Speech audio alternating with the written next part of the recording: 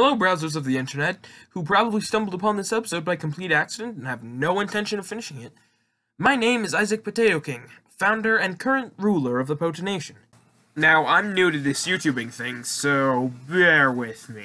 This video is just going to be a quick summary of what you can expect from the channel in the future.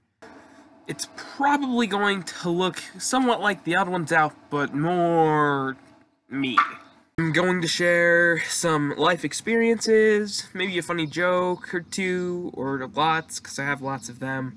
Uh, just all around generally educating you on the important stuff in life. Me. So, yeah, that's going to wrap it up for the first video. Uh, sorry it was so short, but gotta start somewhere, you know? Uh, please like and subscribe. Uh, by the way, this isn't actual fan art. This was just by my sister, but I wanted to put something here. It's just kind of dumb to not do that.